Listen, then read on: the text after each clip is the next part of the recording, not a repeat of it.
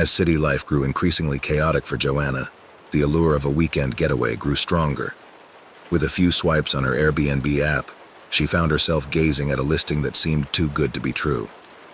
Nestled in the tranquil town of Silverbrook was an impressive mansion with intricate Gothic architecture, sitting amid sprawling gardens adorned with ancient oak trees. The photographs showcased expansive rooms adorned with chandeliers, grand fireplaces, and antique furniture that transported viewers to another era. What was even more astonishing was the ridiculously low price for such luxury. Joanna chuckled, thinking maybe the hosts had made a pricing mistake. But the calendar showed it was consistently booked for months, with just the upcoming weekend mysteriously available. Curiosity piqued. Joanna skimmed through the reviews. They were overwhelmingly positive. Guests gushed over the mansion's charm and the hospitality of the hosts, a seemingly pleasant couple named Martin and Claire. Only a few reviews vaguely mentioned an unusual atmosphere, but were quickly overshadowed by the following positive ones. Trusting her instinct and lured by the idea of a lavish stay at a bargain, Joanna instantly booked her weekend escape, eagerly looking forward to her luxurious retreat. However, what awaited her in Silverbrook was something she hadn't bargained for.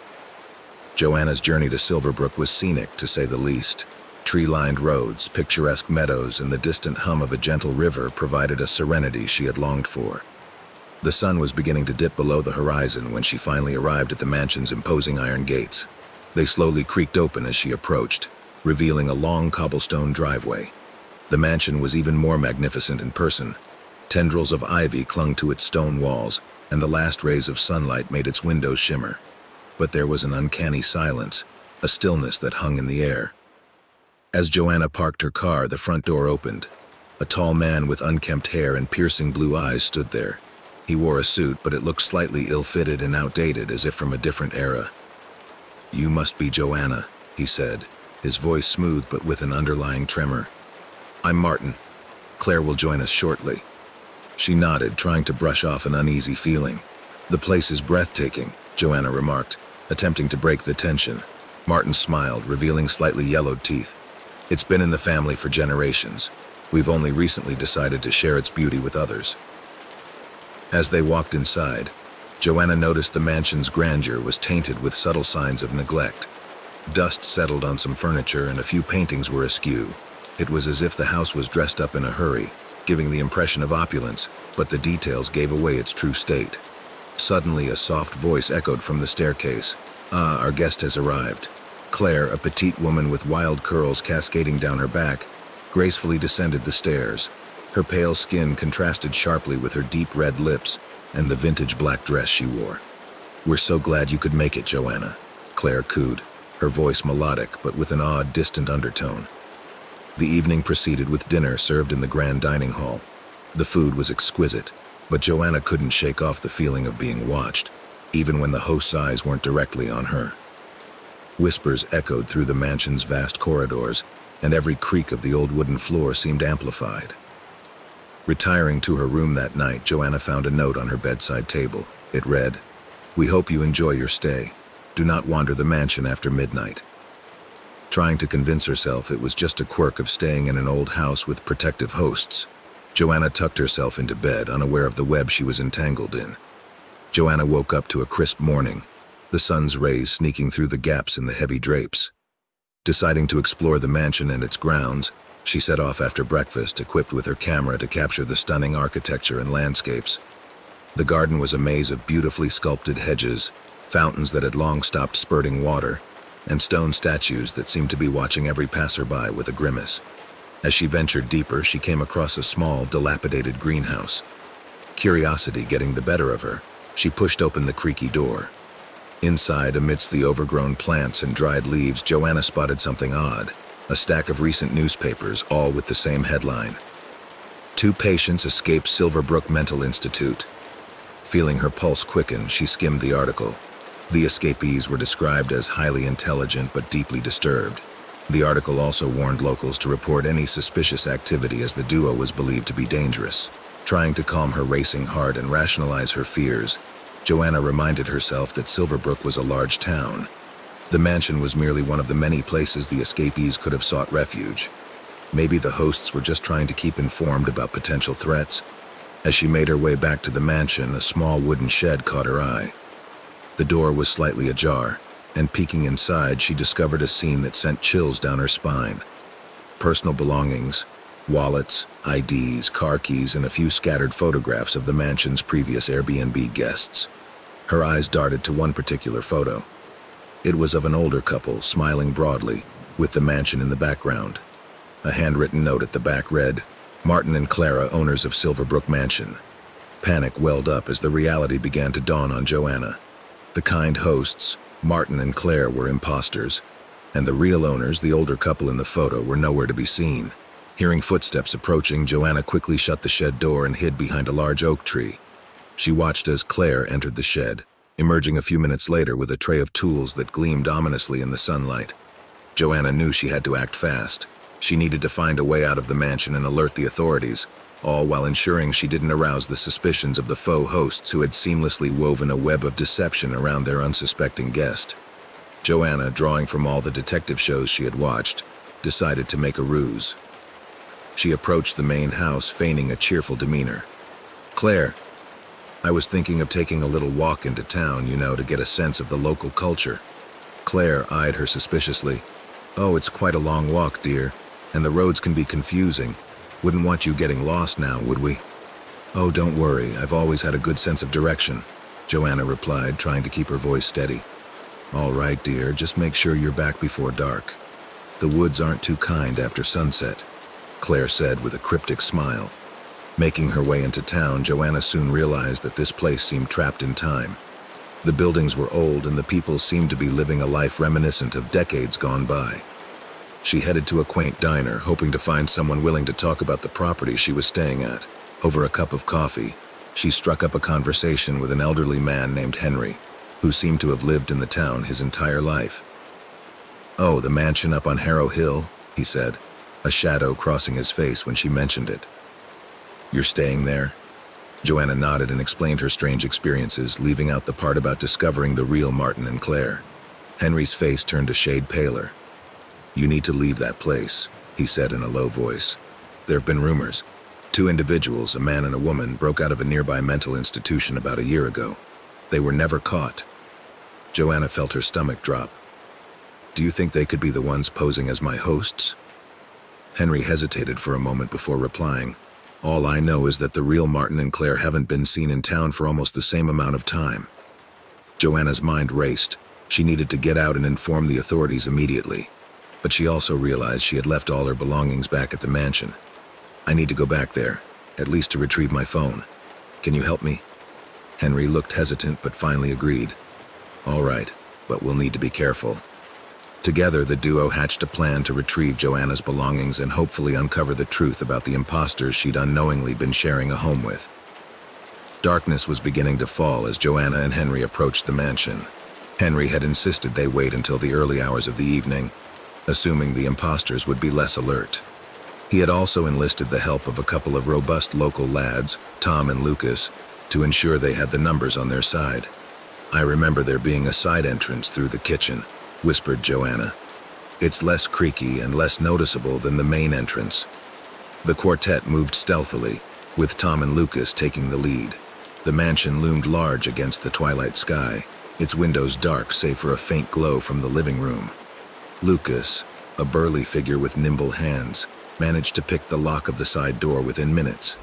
They stepped into the dimly lit kitchen. Joanna quickly signaled the way to her room where her belongings and, most importantly, her phone were.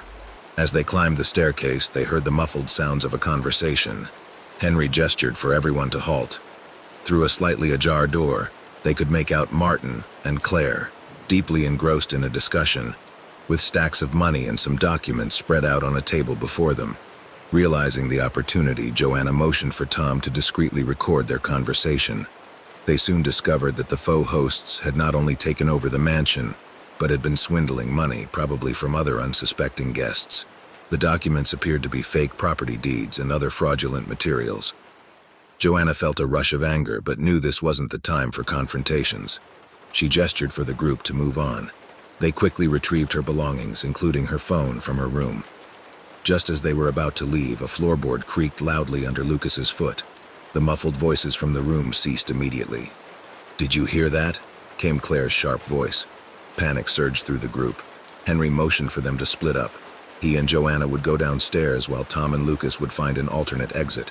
Joanna could hear rapid footsteps approaching as she and Henry made their way to the kitchen. They barely had time to hide behind the large wooden dining table when Martin entered the room, looking around suspiciously. A tense moment passed, with Joanna's heart pounding loudly in her ears. Then, with a deep sigh, Martin exited the room, giving them a narrow window to make their escape. As Joanna and Henry moved swiftly away from the mansion, a sudden and deafening gunshot pierced the night air. The group froze, momentarily startled. Another gunshot rang out, echoing eerily in the still night. Frantically, they tried to locate the source, only to witness a horrifying sight. Tom and Lucas lay lifeless on the ground, their bodies being dragged back toward the mansion by Claire, and a shadowy figure that wasn't Martin, but a larger, even more menacing presence. Chaos ensued. Henry grabbed Joanna's arm, urging her to run as fast as she could while he tried to distract the assailants. The dim moonlight was their only guide as they darted between trees and overgrown shrubs, desperate to put as much distance as possible between them and their pursuers. The chilling sound of laughter echoed behind them, intertwined with the sinister promise of Claire's voice. You can't escape us. Just as hope seemed to be slipping away, a sharp pain shot through Joanna's leg. She'd been hit. Clenching her teeth against the pain, she tried to keep running, her vision blurring from tears and terror. Henry, realizing what happened, hoisted Joanna onto his shoulder, pushing forward with every ounce of strength. The town, he panted. We're almost there. Joanna's consciousness began to wane. The last thing she remembered before darkness took over was the distant sounds of sirens and a reassuring squeeze from Henry's hand. Joanna woke up in a sterile hospital room, greeted by the concerned faces of local law enforcement and medics. The police had been alerted by the sounds of the gunshots, and a search party had been dispatched to the mansion. Upon entering the mansion's cold, damp basement, they found the gruesomely decomposed bodies of the real Martin and Claire, shackled to the walls with clear signs of prolonged torture. It appeared they had been dead for weeks, perhaps even months. The room was filled with a sickeningly sweet stench, the walls stained with dark, dried streaks that spoke of unspeakable horrors. The whole town was in shock. Whispers about the mansion's dark history were now overshadowed by this real, tangible nightmare that had unfolded within its walls. As the news spread, locals pieced together the events of the last few months, realizing that the imposters had seamlessly taken over the lives of the real Martin and Claire skillfully evading suspicion. For Joanna, the physical wounds would eventually heal, but the psychological scars were deep. Every night she would be jolted awake by the haunting laughter of the imposters and the horrifying vision of the real host's remains. The once promising Airbnb trip had turned into a chilling tale of deception, murder, and terror. The full moon painted a silvery glow over the dense canopy of trees, the path leading to Hawthorne Hideaway barely visible. The occasional chirp of crickets was the only sound that greeted Ashley and Kyle as their car trundled down the gravel road. The cottage's online photos hadn't done justice to its rustic charm. Framed by twisted vines and wild roses, it was a perfect blend of seclusion and allure. Ashley's fingers danced over the wooden sign reading Hawthorne Hideaway as she breathed in the woodsy aroma. Feels like stepping back in time, Kyle remarked, pulling out their luggage. Ashley nodded in agreement, her gaze fixated on a dim light flickering from an upstairs window. Must be one of those automatic lights, she mused. They used the code provided to unlock the door. The inside was quaint, adorned with antiques and draped in soft ambient lighting. However, the most captivating feature was the stone fireplace, already crackling, making the room warm and inviting. After a quick meal, they decided to call it a night. Climbing into bed, they dismissed the odd sensation of being watched as nothing more than jitters from being in a new place. Just as they were about to drift off, a whisper floated from the hallway. Welcome back. Both exchanged a nervous glance, unsure if it was their imagination or if their stay was about to take an unexpected turn. Morning sunlight pierced through the gaps in the curtains. The soft chirping of birds signaled the start of a new day. Ashley, already up and about, brewed a pot of coffee while Kyle stumbled into the kitchen, rubbing his eyes. You heard that last night, right? She asked hesitantly, handing him a mug. He nodded, taking a sip. Yeah. Probably just the house settling, or maybe a nearby radio.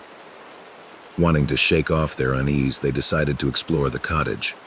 It wasn't long before Ashley stumbled upon an old dusty photo album nestled in the back of a wooden bookshelf. Wiping away the layer of grime, she opened it. Inside were black and white photographs of people who seemed to be from the early 1900s.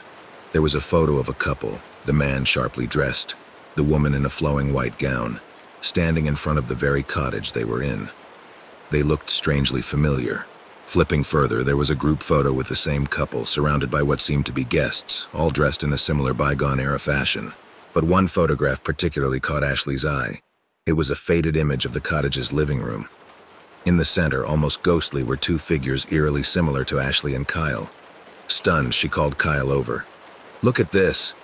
His eyes widened as he took in the photograph. That, that can't be. The resemblance was uncanny. The same clothes they had worn last night, the same expressions, the same posture. On the back of the photograph, in delicate cursive, were the words, July 21, 1922. Hawthorne Hideaway welcomes Ashley and Kyle. The realization dawned upon them. The whisper from the previous night, the familiarity of the place, and now this photograph. What's going on here? Ashley whispered, her voice trembling. Kyle gulped, trying to find a rational explanation. There's more to this place than we know. We need to find out. They were no longer just visitors at Hawthorne Hideaway. They were part of its intricate, mysterious tapestry. The once charming cottage now felt daunting in the dead of night. The weight of the old photographs pressed on their minds, causing Ashley and Kyle to jump at every creak and gust of wind. Ashley tried to lighten the mood, suggesting they watch a movie. As they curled up on the couch, a faint humming began. They muted the TV, trying to pinpoint the origin of the sound. It was a woman's voice, singing an old lullaby. The words were indiscernible, but the haunting melody echoed through the house. Suddenly, the lights flickered and the TV screen turned to static. The singing grew louder and more persistent. Kyle grabbed a flashlight, determined to find the source. Stay here, he whispered to Ashley, but she wasn't about to be left alone. Together, they moved cautiously through the cottage. The singing led them to the master bedroom. As they entered, the voice stopped abruptly. The room was cold, the air thick. In the dim light from the flashlight, they noticed the old mirror hanging on the wall, the same mirror from one of the photographs. This time, however, the reflection showed the room, but from a different time. Gas lamps illuminated the space, and the old couple from the photograph was visible, dancing slowly. Kyle and Ashley watched in stunned silence. As the couple turned, they locked eyes with their modern-day observers, their expressions morphing from joy to anger. The reflection rippled like water before returning to their present-day bedroom. The night dragged on, punctuated by more mysterious happenings. Whispers echoed down the hall, footsteps on the wooden floor, doors opening and closing of their own accord. By the time dawn broke, Ashley and Kyle were huddled together on the living room couch, exhausted and scared. The charm of the old cottage had been replaced by a sense of foreboding. They knew they had to leave, but first, they needed answers. What connection did they have to this house and the couple in the old photographs? And more importantly, how could they break free from it? The first light of dawn brought a temporary relief from the eeriness of the night. But as the couple started packing up to leave, they realized some of their belongings were missing. Ashley searched for her cell phone. She remembered placing it on the kitchen counter last night, but now it was nowhere to be found. Kyle couldn't find his watch, a cherished gift from his grandfather. Are you sure you didn't misplace it? Ashley questioned, her voice reflecting a mix of frustration and fear. I've been wearing that watch every day for the past five years. I never misplace it, Kyle responded, lifting cushions and rummaging through their bags. Their search led them back to the room with the old mirror. On the dresser below it, they found a collection of items, old and new. Alongside coins from the 1800s and vintage hairpins was Ashley's cell phone and Kyle's watch. What baffled them more was an open photo album next to the pile. It was filled with photographs dating back decades. Every photo showed previous tenants of the cottage, always with two things in common. They all looked alarmed or disturbed, and they all had some of their belongings laid out in front of that same haunting mirror. The implication was chilling. Were these items taken as some form of memento, a keepsake for the spirits? The chilling thought crossed their minds. Would they soon become part of this eerie collection?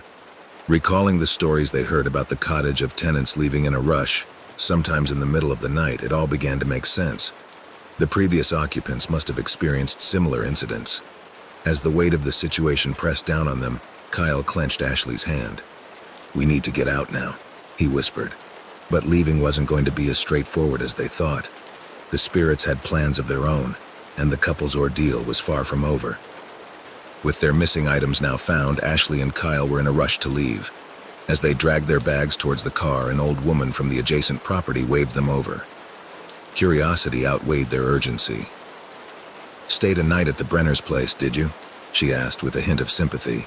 She introduced herself as Mrs. Elsie Wren. We had a really unsettling night. There were strange noises, cold spots, and our stuff was moved, Ashley said, looking desperate for an explanation. Elsie invited them inside her cozy cottage, which stood in stark contrast to the Brenner place. She poured them tea and began recounting tales of the property next door. That cottage was built by a man named Jonathan Brenner in the late 1800s. He was madly in love with a woman, Lillian. They were set to marry, but she disappeared a night before their wedding. Shattered, Jonathan would sit by that mirror every night, placing Lillian's belongings around it, hoping she'd return. Elsie continued. Months turned into years. Locals started hearing Jonathan's lamentations at night. Whispers turned into stories of how he made a pact with the supernatural. He believed the mirror would act as a portal, a way to bring Lillian back or to join her wherever she was. Kyle interrupted. But what about our belongings? Elsie took a deep breath. Jonathan believed that every belonging has an essence of its owner. Maybe his spirit thinks that by collecting belongings, he can be reunited with his beloved. You aren't the first guest to have items taken. Over the years, many tenants have experienced it. The house has a way of remembering. As they left Elsie's house, the elderly lady's parting words sent a shiver down their spines. They say, on some nights, if you look closely into that mirror, you might see Lillian's silhouette, forever waiting for her beloved to join her. Ashley and Kyle bolted, not looking back. They had heard enough tales for one visit, but the story of Jonathan and Lillian would haunt them long after they had left the cursed confines of the Brenner cottage. Elaine Roberts, a freelance journalist, had been scouring Airbnb for weeks, hunting for a unique staycation spot in the heart of the city. She needed a break, a change from her routine, and perhaps something intriguing to write about. Late one evening, as she was about to close her laptop in defeat, a new listing caught her eye. Nestled in the city's historic district, an apartment was described as a timeless retreat. What particularly struck her was the unbelievably low price for its prime location. Intrigued, she clicked on the listing to view more details. The photos showcased rooms that seemed to be trapped in another era. Vintage furnishings, Art Deco motifs, and dark wood paneling gave it an old-world charm. But one peculiarity emerged. Every room prominently featured an ornate clock, and each was curiously set to 3.33 p.m. The captions provided no insight into this choice, only adding to its mystique. Though skeptical, Elaine felt drawn to the place and booked it impulsively. She imagined herself there, sipping tea by the window, watching the world go by, all while surrounded by the peculiar silent tickings of stationary clock hands. Upon her arrival, the reality was almost identical to her fantasies. Sunlight streamed through the tall windows, creating a serene ambience. The ever-present clocks, all pointing to 3.33 p.m., were a constant reminder of the apartment's quirkiness. Exploring the apartment, Elaine discovered a handwritten note on the kitchen counter. Written in elegant cursive, it read, Dear Elaine, welcome to our timeless retreat. As our esteemed guest, we have but one small request. We hope you'll honor our tradition. Please ensure you are present in the apartment daily at 3.33 p.m. It's a brief moment, a slice of the day, where we hope you'll sit, reflect, and perhaps even discover something new. It's more than a mere theme, it's a piece of this place's soul. With anticipation, your host. Elaine laughed off the note, attributing it to the owner's eccentric sense of hospitality. But as her first day in the apartment wore on, she couldn't shake off a growing sense of intrigue. What was the mystery behind the locked time? Was it merely a marketing tactic? Or was there an untold story waiting to unfold? Tossing the note on the table, Elaine decided to play along. After all, she was here for an experience, and she was beginning to sense that this Airbnb might offer more than she'd initially bargained for. On her second day, Elaine made her way through the nearby markets and cafes, taking in the city's hustle and bustle. The old-world charm of the apartment and the surrounding area inspired her, and she made notes for potential articles. As 3.30 p.m. approached, Elaine's phone alarm, which she had set the previous night, began to chime. Remembering the peculiar request from her host, she hastened her steps, ensuring she'd be back in the apartment on time. She unlocked the door at 3:32 p.m. and took a seat waiting. But when the minute passed, nothing extraordinary occurred. The atmosphere remained the same, and the clocks, as ever, were stuck at 3.33 p.m. Elaine chuckled at her own gullibility. Perhaps it was just a fun way for the host to ensure guests spent more time in the apartment. However, as the days went by, Elaine noticed something odd. No matter where she was or what she was doing, at precisely 3.33 p.m., everything outside the apartment seemed to freeze for a split second. Birds hung motionless in the sky, people paused mid-step, and even the breeze seemed to halt. It was as if time itself held its breath. Alarmed, she began recording these moments on her phone. When she played them back, however, everything appeared normal. Was she hallucinating? Or was the apartment doing something to her perception? Over the next couple of days, Elaine couldn't shake off the eerie feeling that surrounded 3.33 p.m. She felt the weight of a thousand gazes, all converging upon her at that very minute each day, only to disperse as soon as the second passed. Trying to dismiss it as a mere figment of her imagination was becoming increasingly difficult. Out in the city, Elaine began asking locals about the building, subtly broaching the topic over coffee during market visits or while dining at quaint cafes. The locals would often exchange knowing glances before switching to another topic, further intensifying her suspicion that something was amiss. One evening, at a small bistro near her apartment, Elaine met Lila, an elderly woman with sharp, piercing eyes. Lila, a local historian and lifelong resident, seemed intrigued by Elaine's queries. Hesitating at first, Lila finally leaned in and began sharing tales from decades ago. That building, she whispered, was always the talk of the town. The prior residents, you see, often complained of feeling out of sync after living there. Some said it felt as though they were momentarily detached from the world at a specific time each day. They'd feel isolated, trapped in a bubble, Elaine showed Lila the video she had taken on her phone, capturing the split-second standstill she had observed. Lila's eyes widened as she watched. This, this is just like the tales from the old times, but we all thought they were just stories to spook kids. Elaine's thoughts raced back to the Airbnb reviews. Taking a chance, she messaged a few of the previous guests, sharing her experiences and inquiring about theirs. Replies began pouring in, each eerier than the last. A couple from Brazil shared how they felt a distinct chill every day at 3.33 p.m., despite the heating being on. A solo traveler from Japan mentioned feeling an inexplicable sadness, a weight on his chest during that minute. But it was a message from Martin, a recent guest, that truly caught her attention. He wrote, Did you notice the old radio in the living room? Try turning it on at that time, just be prepared. Determined to get to the bottom of this mystery, Elaine decided that the following day she would do precisely that. Elaine waited impatiently the next day, watching the clock as it neared 3.33 p.m. She found the old radio, its wooden exterior faded, but still in surprisingly good condition given its age. She plugged it in, the low hum indicating it was alive. The minute hand finally struck 3.33. Heart pounding, Elaine turned on the radio.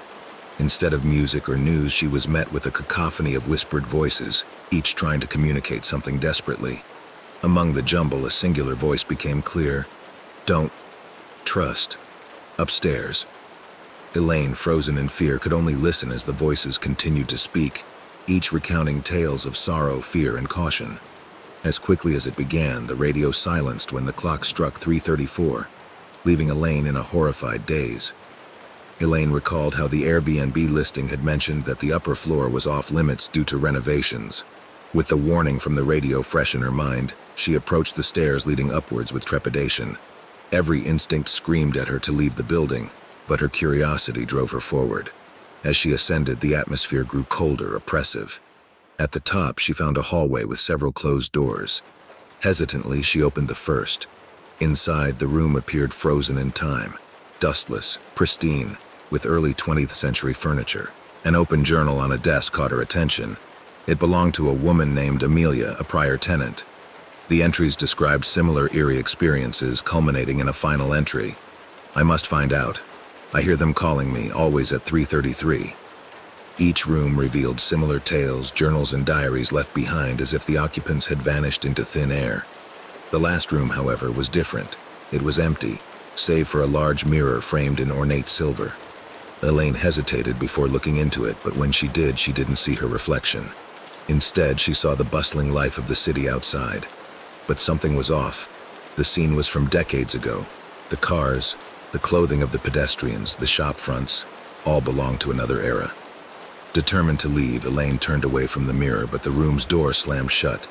Panic surged as she tried to open it, but it wouldn't budge. The room grew colder, her breath visible in the air. The mirror's image began to change, showing a series of people, all looking directly at her, terror evident in their eyes. The last face she saw was Amelia's, her face contorted in a scream. Suddenly, the door opened and Elaine rushed out, fleeing downstairs. The atmosphere lightened as she descended, the oppressive weight lifting. Grabbing her things, she left the Airbnb, swearing never to return. Elaine made it her mission to meet Lila again. She hoped the historian, with her intricate knowledge of the town's history, might shed light on the perplexing message from the radio. Elaine located the bistro from the other evening, spotting Lila in her usual corner, engrossed in a book. When Elaine approached, Lila's sharp eyes immediately sensed her distress. Before Elaine could speak, Lila motioned for her to sit. You turned on the radio, didn't you? Lila murmured, a hint of fear lacing her words. Elaine nodded, recounting the haunting whispers and the enigmatic warning. What does beware the next guest mean, Lila? Lila leaned in, her voice dropping to a whisper. There's a pattern, dear. After the radio message is heard, within days something happens to the listener. A few have vanished like Amelia, while others have suffered accidents. The building seems to have a mind of its own. Elaine's pulse quickened. Are you saying I'm in danger? Lila's face paled. Yes, leave the city immediately.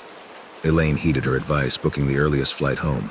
As she waited at the airport, her phone pinged with a message notification. Opening it, her blood ran cold. It was from the Airbnb host reading, I'm so sorry. We never had an upstairs. Please tell me you didn't go in there. Her flight couldn't take off soon enough. In the shadows of the night, if our tales from unsettling horror stories gave you a fright, press like and let it be known. Subscribe so you're never alone in this haunting journey and share so others too can be wary. Until our next sinister tale, stay dark, dear listener.